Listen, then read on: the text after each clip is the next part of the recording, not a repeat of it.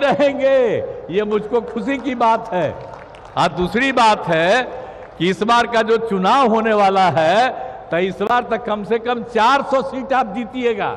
ये हमको पूरा भरोसा है। इसीलिए बाकी सब लोग जो इधर उधर कर रहा कहीं कुछ नहीं होगा।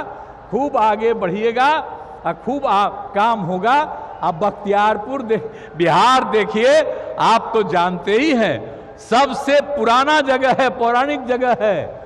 तो आप जब आप काम कर दीजिएगा तो जो सबसे पुराना जगह है, वो उतना ही आगे और बढ़ जाएगा और इसमें आपको बहुत ज़्यादा क्रेडिट मिलेगा। और जो भी विकास होगा, हम उसका श्रेय आपको देते रहेंगे और आप जो यहाँ पधारे हैं, इसके लिए मैं पुनः आपका अभिनंदन करता हूँ।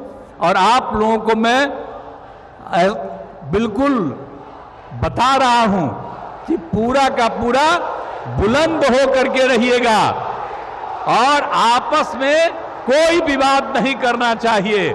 मिलजुल करके हम लोगों को काम करना चाहिए और बहुत आगे बढ़ाना है।